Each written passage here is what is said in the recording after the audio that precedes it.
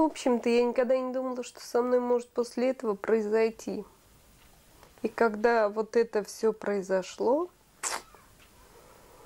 я теперь просто всем говорю, девочки, остановитесь, не надо этого делать. Потому что мы никогда не знаем, чем это может закончиться. Вот, пожалуйста, пример. Чем это могло закончиться.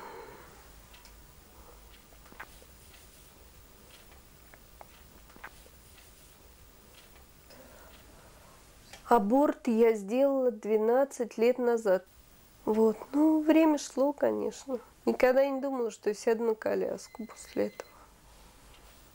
Когда я лежала в Семашко, мне поставили посттравматическую олигоменорию, то есть результата после аборта. То есть после этого аборта у меня не было месячных. То есть я еще всегда спрашивала, неужели это Климакс такой ранний, там, мне всего 27 лет. Нет, говорят, это просто олигоменория посттравматическая. Поэтому так и получилось. Но сейчас я на коляске. Что теперь сделаешь?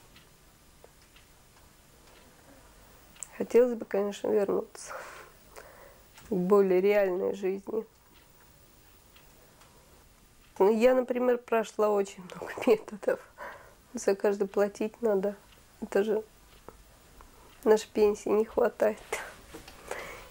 Нереально.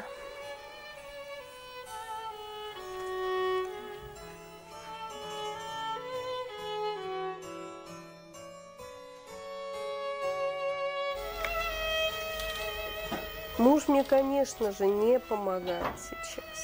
И даже после вот такого злополучного аборта мне пришлось с ним развестись.